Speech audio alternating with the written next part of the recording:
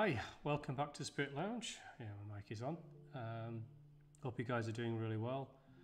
Uh, so this is the uh, next um, installment of the Nag Hammadi texts, and we're going through another chapter. So this is the second one this week. Um, to get another one in this week to try to get through the book uh, quickly, because I'd like to move on to uh, another religious text, maybe the Up- Upanishads or maybe the um, uh, the King James Bible or something next to go through that and try to interpret it in a different way, or rather, my way, uh, into what I see and sense from from what it really says. So, uh, without further ado, we'll just put the uh, PowerPoint onto the screen and move myself into the corner.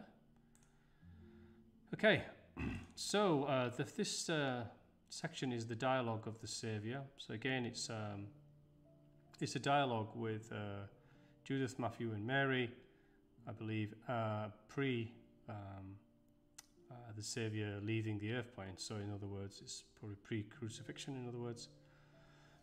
and so um, it goes through a dialogue. And what it does, it's uh, composed in Greek, as much of the Nag Hammadi was, and then it's uh, translated into Coptic. Um, again, this one is very poorly preserved, so there wasn't um, a lot of the sentences were fragmented, so there wasn't much you could get fully from it. I think it was probably about thirty percent of it was difficult to trans to, to get anything from, and the other seventy percent was whole was whole sentences are reconstructed by the authors. The compil- it's a compilation of different sources. It's intertw- intertwined, so it doesn't look like it's from one single dialogue source. It's a monologue, as I said, from G- to Jesus before leaving the world. Um, it was anticipated to be around circa 100 AD. Uh, it was um, this dialogue was transcribed, so therefore it must have come, might, may have come from different places. It also talks about the archons again, um, and it has some traditional sayings from Jesus in in this text. So um, it's a mix between Gnostic and Orthodox Christianity or early Christianity at the time. Uh, and he also mentions, uh, it does not mention the myth of Sophia or, the, or talks about the demiurge, but the fact it talks about the archons, you can you can in, insinuate that uh, the demiurge was somewhere in the background there, but um, um, will uh, will actually also says that the world is presented as a creation of forethought of source itself, and not an error of creation from Sophia. So let's let's go straight into this. Hopefully this should be short as well. Excuse me. Okay, so the first one, the Saviour teaches about rest. Of course, we know what rest is by now. It's um, when you find grace in yourself, and and you're touching the the, the realm of the divine, which is where you you uh, attain comfort, and that pleroma, which is the wearing the garments of the divine, uh, becoming that spirit that you sense and have discovered within. Uh, Saviour said, Now the time has come, brothers and sisters, for us to leave our labour behind and stand at rest. A labour behind, it's not, not work. The labour is the uh, is uh, the uh, the energy spent to discover oneself. So when it says labour, it's not talking about physical work. It's talking about the labour of finding oneself. For whoever stands at rest would rest forever. Always rise above, do not be afraid. Anger is frightening. Anger established rulers over them. I opened a path, the way of passage for those who are chosen. So if what he's saying, if we move into anger, if we move into fear, we move into those frequencies, then we move ourselves really into the lower uh, chakra energies that we have.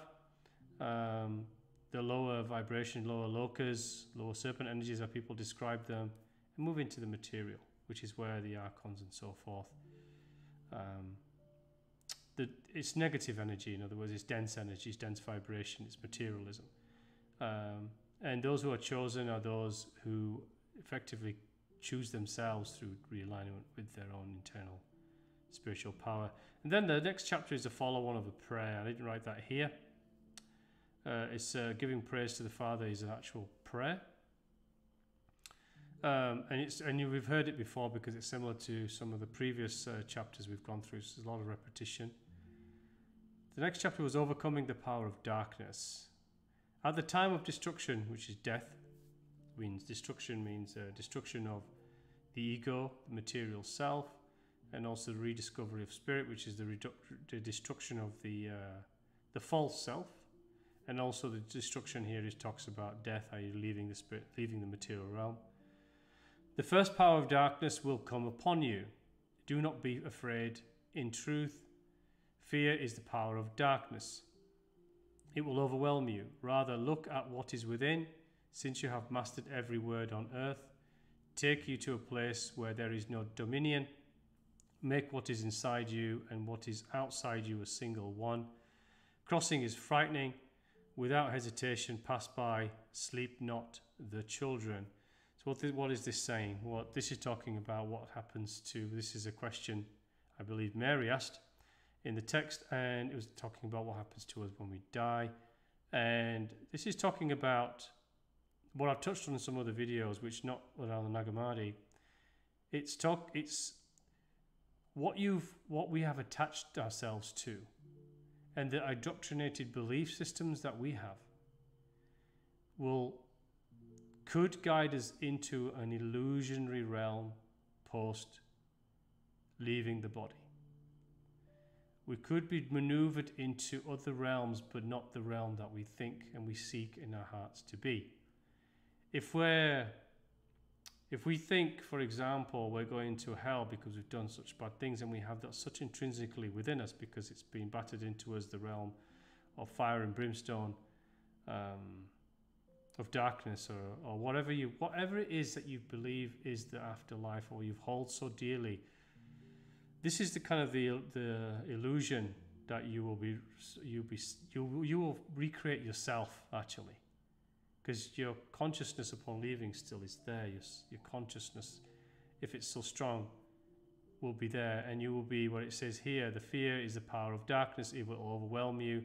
Rather look at within uh, and go to a place of no dominion you could take yourself to an alternative alternate illusion albeit um, what would seem for an eternity, but in the realm of the infinite there is no time, so it could be a, a momentary lapse.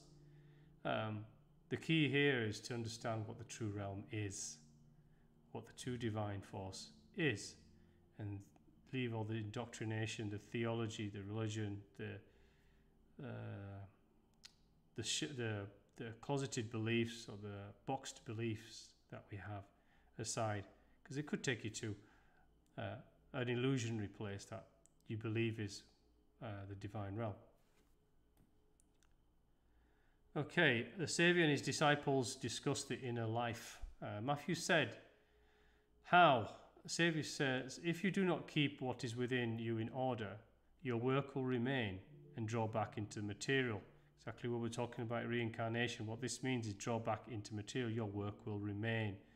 This means that uh, what Jesus is saying here, if you do not maintain your path towards the Spirit, are you you do not keep what is within in order, it it's the it's the faith and the continual persistent pursuit of greater knowing that is keeping your within in order. If you do not, then you will keep this passage, this realization, this work, this um, uh, path that we're on unfulfilled, un, incomplete, incomplete.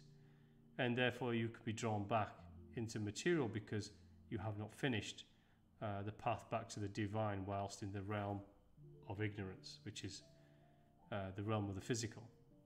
Judas, uh, Master, understand. He wanted. I. I want to understand the works of the souls. The Master said, "They do not die and are not destroyed. They have not known their companions and the one, one who will receive them. For truth seeks the wise and the righteous. The lamp of the body is the mind. So that is the lamp of the body is the mind. What does this mean? It's not the illumination. The illumination is the spirit and the heart. It's the processor. It's the one that gives you uh, the the mind is the one that translates and helps you understand what is being driven to you and guided to you through the spirit and the heart. And therefore, it's the illuminator from a mental sense. The illuminator of knowledge is actually from the spirit and the heart. What is within you is kept in order. Your bodies are enlightened. As long as your hearts are dark, your light, which you expect, is far from you. Again, drawing dark down into the lower chakras, fear will always draw you towards error, misjudgment, misdirection, um, uh, away from wisdom, and choices that are not for your greater good. Your light, which you, the, your light which you expect, is far from you. I am about to depart. My word, uh, and I, it's gonna, I leave my word among yourselves. So this was before Jesus was about to leave. Uh, who seeks, who reveals? Disciples, who seeks and who reveals? Master said. So the disciple, uh, disciples asked, Who seeks and who reveals? The Master said, One who seeks also reveals. Of course, if you seek the Spirit, then you reveal the truth unto yourself. One who speaks also listens, speaks to the oneself, speaks to the divine, will also listen for the messages that come. And one who see one and one who sees also reveals. So if you see, you seek, you see and receive knowledge. You speak to that which is in, that which is unknown, known within. Then you listen to the words, and then you see the, uh, the reality for yourself, and then reveal it to others. Mary, where do my tears come from? My laughter come from? Master said, the, bo- the body weeps because of its works and what remains to be done. So what it's saying here, she cries from because she is saddened not for material reasons. It's for spiritual reasons. And therefore, he's saying that the she cries because she doesn't fully yet understand and hasn't uh, fulfilled sufficient of the path that she the spiritual path she is on, and therefore she weeps. She says, Mind laughs, the fruits of the Spirit. Whoever does not stand in darkness will not be able to see light. Uh, you will put on light. I light is the uncovering of the Spirit. Okay. The creation of the world. Uh, Judas asks, What existed before heaven and earth, Master? The master responds, There was darkness and water, and spirit upon water. So the water is, it goes back to um, baptism. So there was darkness and water. So darkness is not the negativity darkness. Uh, the realm of the infinite and all possibility is actual darkness, but not in a negative sense. It's a darkness of pure love. It's a realm where there's nothing visible. You're just present in it. And it exhibits pure love. And when you're there, you are belonging. It's home. You are everywhere. You're not a point. You are an expression all over. You can express yourself as a point, you are all that is within that realm of all possibility. And you and we create through thought from an infinite realm where there is nothing, just presence within the divine frequency. We create experience, we create environment, we create expression, we create incarnative, incarnational experiences through our thought. We direct ourselves. So this is saying the darkness and the water. Water is the water of creation, the manifestation of life. This is what uh, it's referred to as water, water above. So remember, the demiurge looked above through the water and saw the image, and therefore modeled the image of Adam into the image that he thought he thought he was seeing. It was seeing, um, which was actually Sophia looking down at what had been created in her error. In other words, a part of the storyline. Um, that is the water. It's the water of creation. So manifestation, light and creation was the water above, but also there was water below because that was the realm of uh, error below. That was a long explanation there. I hope that was, uh, hope you resonated with that. There was darkness and water and spirit upon water. Spirit is manifestation, a divine force. Inquire about within you, mystery of the spirit. Wickedness entered in order to destroy the mind. Matthew, where is the soul? Where does the true mind dwell? Master said, Fire of spirit came into existence, same to be spirit, and the true mind within them, within them. Establish the soul on high, be exalted. Uh, this paragraph was really fragmented. That's why it's short. Uh, what it's actually saying is that wickedness entered in order to destroy the mind. Wickedness is our own. Wickedness is not something that some demons or archons have forced upon us. We create wickedness ourselves. How? Through free will. We have the will to direct our force, our spiritual force, either suppress it and go into the ego and the mind and the personal ego and the intellectual self and the material self and the lower chakra energies and create wickedness ourselves. And we have done, obviously, in uh, abundance in our realm and therefore created duality.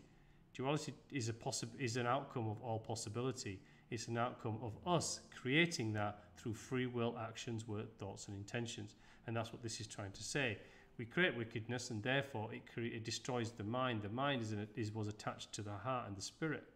We have detached the mind as the superior force and detached it from the heart and the spirit. In fact, the spirit has been depressed within us to the lowest recesses of our being, where it's just a pilot light when it should be a fire. So where is the soul and the true mind dwell? It's the and fire of spirit came into existence, i.e., the force of spirit, and also the fire of spirit is also the fire of desire. So there's the fire of love, there's the, and there's the fire of the water of love, and then there's the fire. So fire and water, the uh, yin yang. Uh, the fire is the desire, the water is the light, the spirit of love. The fire is the is the force of desire, materialism, ego, and all those other expressions. And we can choose. We don't have we have we have these two forces within us not because we have them, it's because we form them, and we need to decide which way we, we want to we want to exist. The fire will keep you recycling into these realms. The water will direct you towards grace. Um, okay, let's move on from that. Um, seek, find, rejoice. This is again very short, it's fragmented. More useful than your work. Remove from yourselves what can pursue you, a way to overcome the powers above and below let one renounce and repent, seek and find, rejoice. So this effectively say, remove from yourself what can pursue you. That's our um, uh, desire-driven aspect. Remember, there's nothing in error with experiencing life and wanting material uh, comfort. There's nothing wrong with abundance. There's nothing wrong with creating abundance. It's your attachment to it. It's your desire to it. There's nothing wrong with uh, a physical affection between two peoples, or however you choose, consenting individuals. Um, but it's your desire to it. It's your attachment to it. It's your lustful desire to it, which becomes and dominates you, and how you use those things, how you use wealth and money, how you use property and accumulation. Are you, are you, are we, are we um, obsessed with accumulation? These, it's balance. And if we are driven through water, then we do these things with balance. If we are driven through fire, we do these things to excess, compulsion, and obsession and attachment. And this is the difference. So remove yourselves. What can pursue you is the fire and the water again. Um, and uh, we can find a way to overcome the powers above and below, which means um, this, is talking about the, uh, the upper frequencies of grace and low frequencies of that, but we also have those, remember? We have those in our chakras. The upper frequencies, what are those? Well, we should be balancing all our chakra energies, but the frequencies of desire are solar plexus below, right? The sacral chakras and the chakras below. The, the ones above are the heart, the throat, the third eye, the crown. Those are the things that take you towards when we, when we move to more towards that, with balanced vibration throughout, we, mo- we move more towards this direction, and that's where we receive the grace. Um, the emergence of the word. Okay, so the master said, Father, uh, the master said, Father established the world. So this is slightly different from the rest of the storyline in this book, where Sophia, the demiurge, created demiurge, and the demiurge, the Sakla, Yaldabaoth Belbeoth was supposed to have created the physical realm. Uh, Father establishes, established the word. He collected some of its water, and the word creative process came from it. So he created the, the water is spiritual force, creative force, the, uh, the divine through its own creative force, which is called water. Spirit, spirit energy, the divine force, is a creative force, and therefore the the world and the universe manifested from that creative force of the Father. And I assign line to this, which is just thought.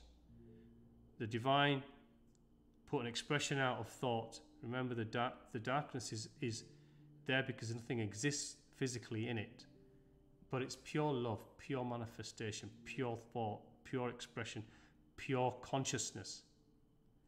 And from that expresses form, transform, transformation, creation, and destruction through the forces of un- the universal forces of, of karmic forces of cause and effect, energy, the transformation of energy through thought and tendency, and then we manifest those things. And those are cascade on. Force, those forces move continually through uh, this universe, transforming energy. It's just cascading out. Uh, and that's what this is, and this is what I, I, I don't um, uh, sp- um, sign up to this demiurge and archontic. Um, the archontic forces do exist, but we've manifested those into, into, into manifestation ourselves, but also our other physical beings in this universal realm that we live in. Um, okay, so where were we? Uh, Father said, established the world. He collected some of its water came and uh, the creative force came from it. It experienced it experienced man uh, some trouble. Uh, it was more exalted than the path of the stars around the entire earth. Period of time began. Man of beings, separated from the rest, the word was established. He looked down. The father said, "Go, send something from yourself." not to be in want from generation to generation, so sent fountains of milk, honey, oil, wine, fruit. The word is above, outside was great light, for that one rules over all the realms above and below. So, what does this say? Um, this is essentially talking about um, the solar system, in other words. So, this is the Earth moving around the Sun and the other planetary forces, the astro- astrology of the of the stars uh, formulations, the constellations, and the movement of planets. Remember, um, in previous chapters, the angels and the archangels and the lords and these things were all names for the constellations, the days, the hours, uh, and the months uh, of the year, and the cycles of um, the cycles of how long it takes the Earth to revolve around the sun. Uh, and th- therefore time began, time was began to be measured. As it says, path of stars around the entire earth, period of time began. What this is saying is that time was manifest once man looked above and saw the revolution of the, the, the us around the earth, or they were then thinking the, earth, the sun moved around the earth. But either way, the time they manifested 360 days rather than 365, 12 months. 360 days, um, uh, hours, and therefore time was then created in those forms hours, minutes, and so forth 24 hours in a day, 60 minutes in an hour. All that was transformed down by first me- measuring the movements of the celestial above. That's where time manifests from originally. Uh, and obviously, it's progressed since then and we hold ourselves to linear time. Linear time is what we created to measure our linear experiences of events that we experience in life and one thing after another after another of sequential events. But in the divine, there is no time. Uh, it's important to understand that.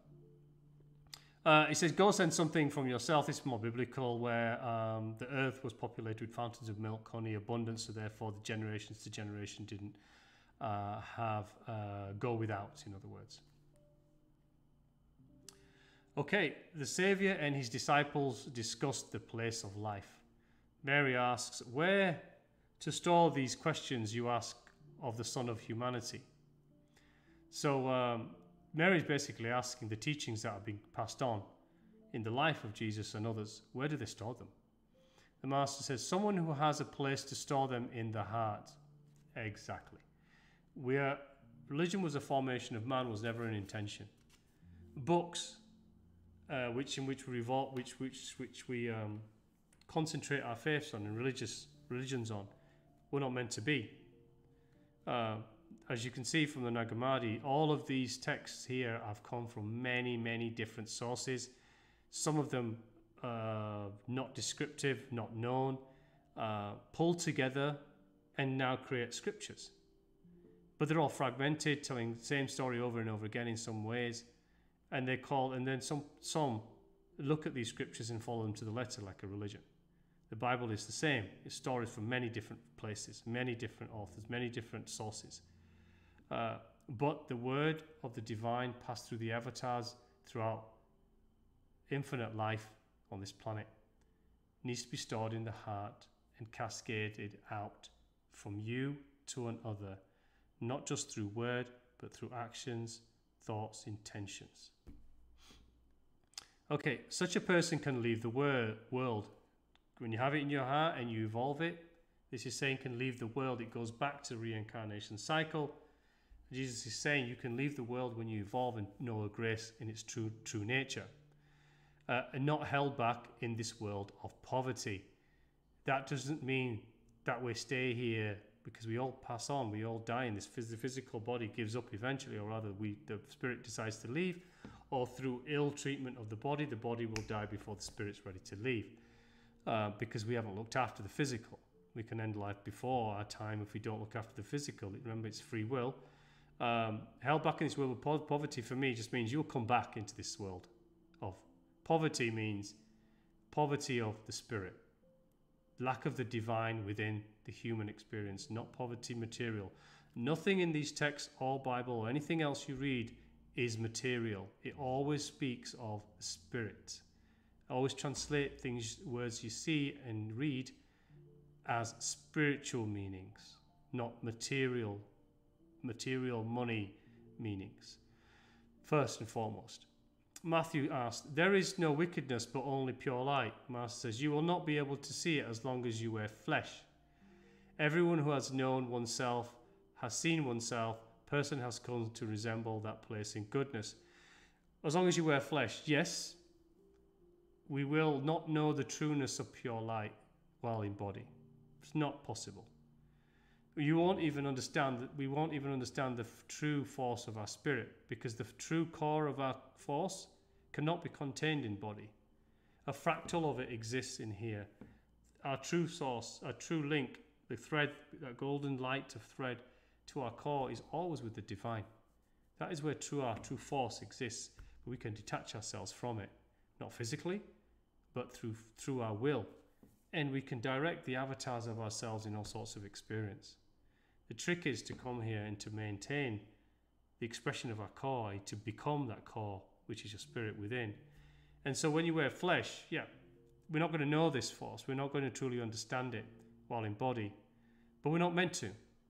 What we're meant to understand is come as close to as we possibly can to express that force while we're in body. Because to truly understand that force of the spirit, it's a, it's a, we have to be in an energetic form because the spirit is pure energy. We cannot express the pure energy of consciousness in a body, in the shell. But we are to expand sufficiently away from the realm that we experience so that we um, move into greater realms and towards grace itself.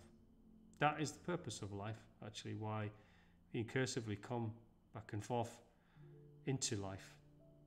Everyone else known oneself will see oneself. Person has come to resemble that place in goodness. We've, we've mentioned that. Next one How does an earthquake shake? So, um, this is a question that was asked. The master's said, Earthquake shake when it shakes the earth. Master picked up a stone. What supports the earth is also what supports heaven. Earth does not move. If it did, it would collapse, so that the first word might not fail. Word established the world all you children of humanity, all the things that do not move, you live in the hearts of those who speaks out in joy and truth. World comes from the Father's body among people and do not receive it, it will return back to its place. Again, the last sentence is talking about if you do not receive the Spirit or find it, you recursively come back into this into this realm.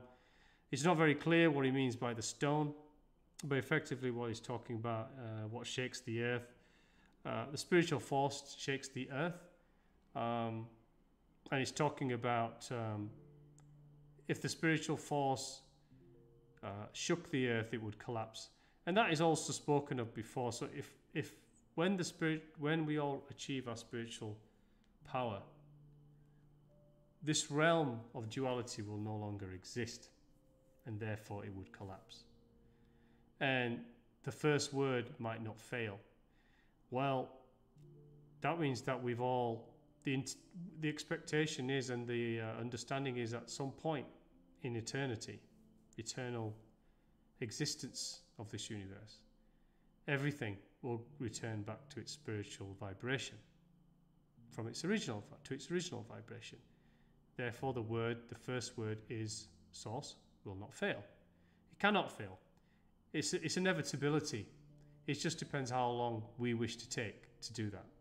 But it will happen. It's inevitable. In the end, all things return back to their source. Okay, um, you live in the hearts of those who speaks out in joy and truth. What comes from the Father of body, um, what what comes from the Father's body among people, and do not receive it, it will return back to its place.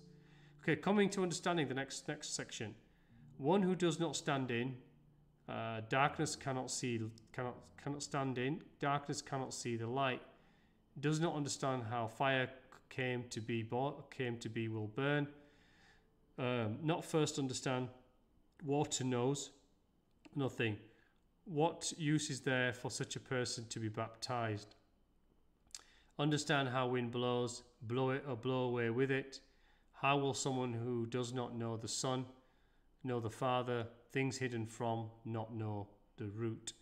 So uh, this essentially is it's saying that, of course, we've got to understand the Spirit, the Father, our root. Um, if we don't understand the water, we don't understand the divine or the divine creation or water or the spirit, which is water, um, then they don't know anything. Is there is there is there uh, is there any meaning in having a person baptized in that case? That's what it's saying. If you stand in darkness, you cannot see light. Uh, this is saying that if we, because we stand in the in a realm of duality, we also experience darkness. And it's saying that if we didn't see that darkness, we wouldn't know the difference between that and the light. We wouldn't know which direction in which to go. It kind of indicates that. Uh, remember, duality is always was an was a is an infinite possibility, but it's always an expected outcome. Um, when you manif- when the divine manifested life in this universe, including ourselves, uh, in these physical bodies or the spirit entering these physical bodies, there was also a possibility that we would, uh, there's many, much of us or many of us will go in and out of um, lower chakra frequencies and stay there, therefore create duality. It was inevitability and expectation, but there's an inevitability and expectation we will return back to grace also. It's a cycle. It's a yogic cycle uh, which I will go through uh, shortly. I think I might uh, go through that once uh, I've reached halfway through the book, which won't be too far now, um, to, to go through those cycles. Uh, it'll explain a lot. Okay, uh, the next one. Judas, Judith, Matthew, and Mary have an apocalyptic, apocalyptic vision. Judas, who can ascend to such height or descend to the abyss? the word issued. A seed from a power was deficient and it descended to earth's abyss. Word brought the seed up to the, into the presence of the majesty, so the first word might not be lost. Like a visible flash of thunder and lightning, what is good will be taken up to the light. Um, this is talking about a seed. Uh, we are all seed, uh, and we descend into the abyss if we go towards what is deficient, in other words. We will be brought up into the majesty of the word if we choose to go to that direction. Mary asks about the vision. I don't think that's talking about the demiurge, by the way, this drop into the deficiency, into the abyss. I don't think that's referring to the demiurge, but it could also be. Uh, Mary asks about the vision. Mary said, I see the devil that affects people from the start when, when they dwell with each other. Her question is talking about with each other. is when uh, those who uh, are um, drawn towards lower energetic vibrational tendency and frequency go towards each other and dwell with each other, they don't, they tend not to move on from that frequency. Uh, Master said they will not stay there. When you see the one who exists eternally, that is the great vision. Do your best to save what can come after and seek it and speak through it. Maybe, maybe harmony with you. Uh, truly, the living God is in you. So eventually, yes, they will not stay there, but cyclically, many, many, many lifetimes, they will stay there until they make the free will decision to move towards light or water, as in this chapter describes. Okay, next, Judas asks the rulers of the world and the garments. Judas, I really want to learn everything. Master said, The living God does not dwell in this entire region of deficiency. Actually, does, but I'll explain why later. All things that exist. What uh, this is a different meaning to that, by the way. All things that exist, what remains, you rule over them. Judas, but look, the rulers are over us. Masters, you will rule over them when you remove jealousy from yourselves, clothe yourselves in light. Garments of life were given to those people because they know the way they will go. Okay, the God does not dwell in the entire region of deficiency. Well, actually, the entire realm of all is within the all and is within grace itself. So, does um, does everything exist within source? Yes. What it means is that God does not dwell in the entire region of deficiency. It means the realms of the deficiency means those of the material desire driven, as we mentioned, lower vibrational frequencies, which there are many. This, the satanic, the lustful, or excessively thought. We've talked about the this tendencies, um, they have depressed the spirit.